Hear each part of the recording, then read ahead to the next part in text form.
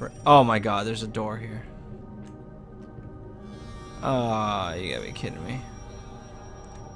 Thank you for playing the preview version of Layers of Fear. We hope you enjoyed it, and we can't wait to hear your feedback. Stay tuned for more madness. What? What?